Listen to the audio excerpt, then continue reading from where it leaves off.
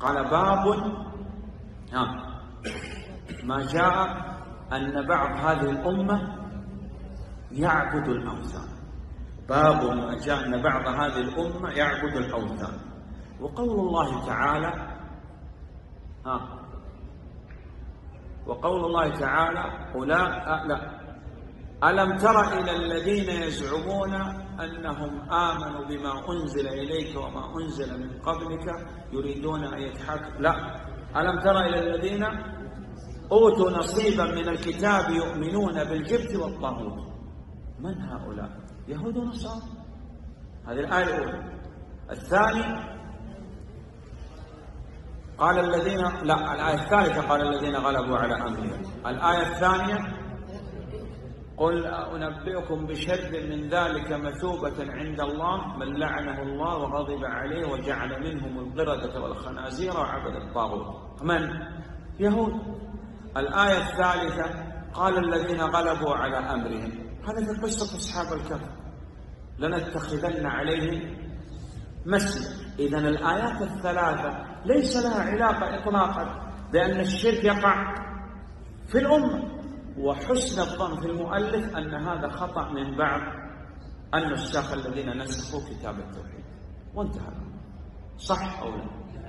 سبحان الله ما يخطئ النساخ طيب مؤلف يخطئ ما في إشكال لكن الآن قلنا هذا خطأ بعض النساخ من؟ يذكر لي ما علاقة الآيات الثلاثة الآية الأولى في أهل الكتاب يهود ونصارى الآية الثانية في اليهود الآية الثالثة في أهل, الكهف.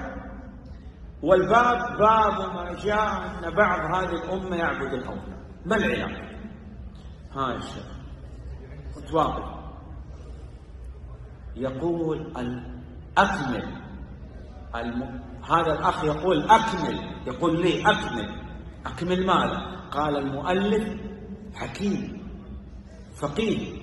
بخاري هذا الزمن.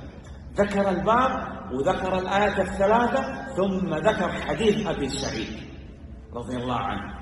لتتبعن سنن وفي رواية سنن من كان قبلكم.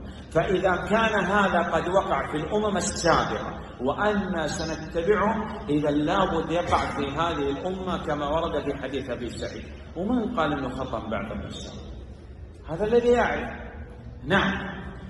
إذا كان في الأمة السابقة من يعبد الجبت والطاغوت إذا لابد يكون في هذه الأمة من يعبد الجبت والطاغوت.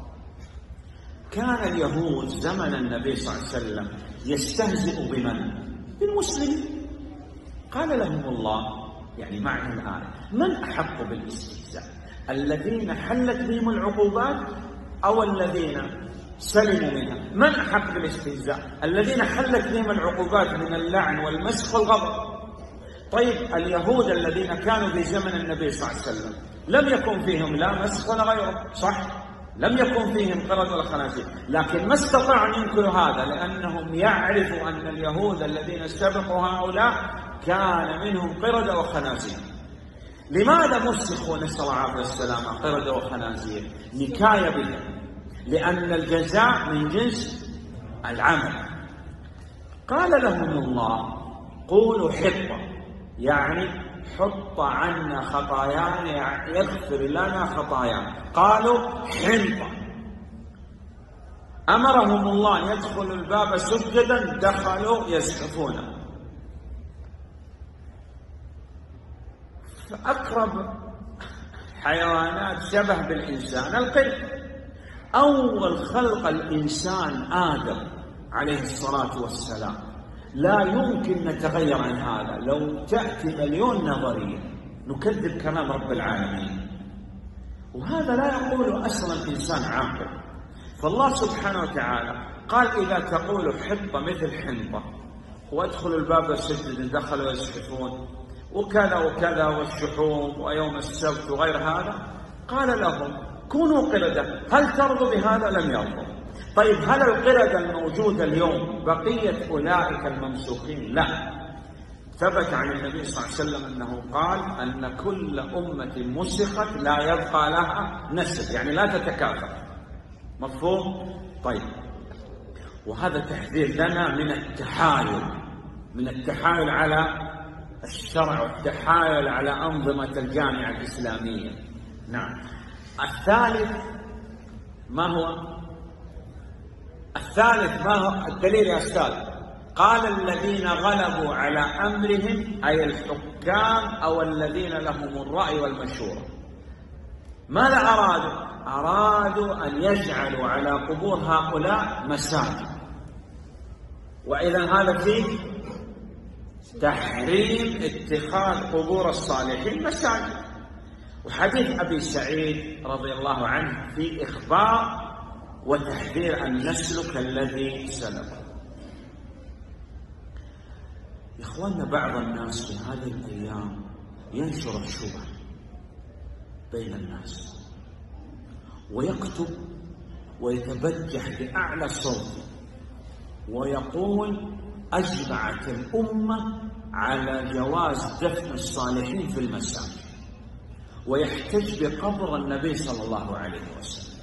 نقول عليه نرد عليه كيف نقول أنت من الذين سمى الله لنا. تتبع المتشابه وتترك المحكم وعندنا نصوص محكمة بينة واضحة.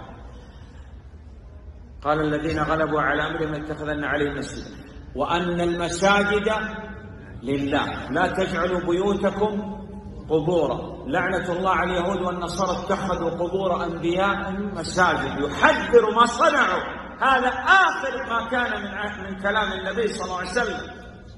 نصوص محكمة تتبع المتشابه. الثاني من بنى المسجد؟ من الذي بنى المسجد النبوي؟ من؟ حي أو ميت؟ وقت بنى النبي صلى الله عليه وسلم المسجد هو حي أو ميت؟ حي. موجود القبر؟ لا.